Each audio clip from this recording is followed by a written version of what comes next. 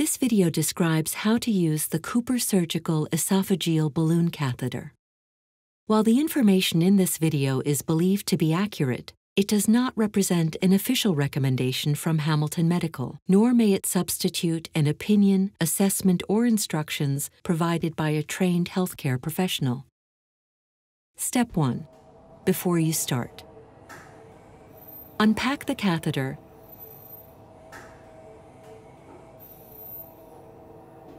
and connect the three-way stopcock directly to it. Inflate the balloon with 3 milliliters. Test for leaks. Check the balloon's integrity and tightness by applying gentle pressure to the balloon with your fingers. Deflate the balloon again after checking it.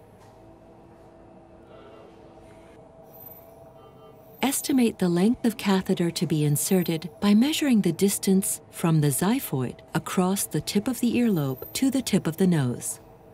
Check the ventilator display and make sure the esophageal pressure waveform shows a pressure of 0 plus or minus 0.5 centimeters of water to avoid a technical misreading connect the ventilator connection line to the esophageal pressure or auxiliary pressure port of the ventilator. Step 2. Inserting the catheter. Apply lubricant to the tip of the catheter if needed and place the patient in a semi-recumbent position to make placement easier and more accurate carefully insert the catheter either transnasally or transorally to a depth of about 50 to 60 centimeters so the balloon is positioned inside the stomach. If you feel resistance, stop and then turn the catheter slightly to continue. Step 3. Inflating the balloon actively deflate the balloon with the syringe to ensure it's completely empty of air.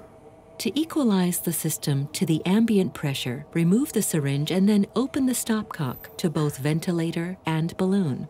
Keep it open during inflation. At this point, inflate the balloon and then remove enough so that one milliliter remains.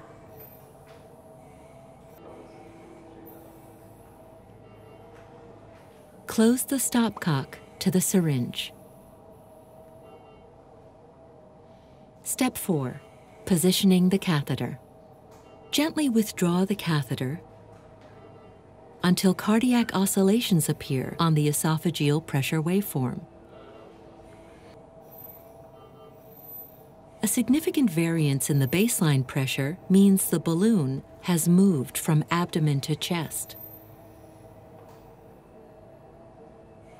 Step 5. Validating the measurement.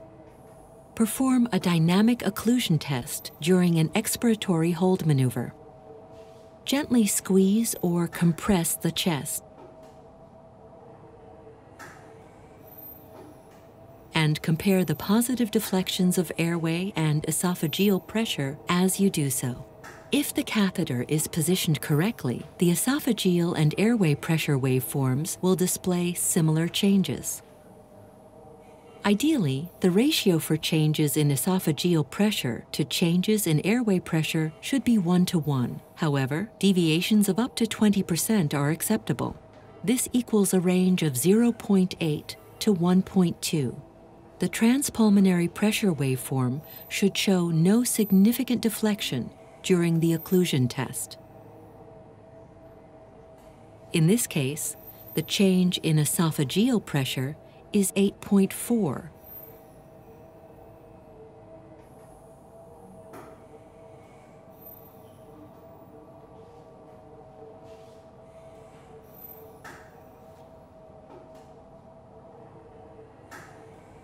and 8.9 in airway pressure.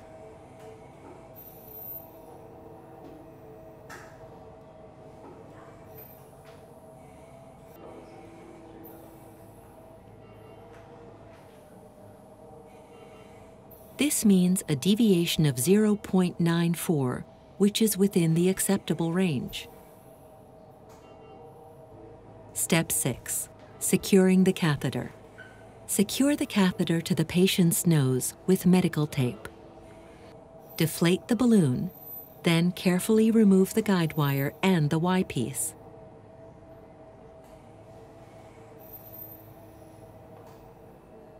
Reconnect the three-way stopcock and inflate the balloon. Then remove enough so that one milliliter remains. Then close the stopcock to the syringe. As an advanced approach, consider titrating the optimal balloon filling volume. For more information, please refer to our esophageal balloon catheter reference card. You can find the link in the description of this video.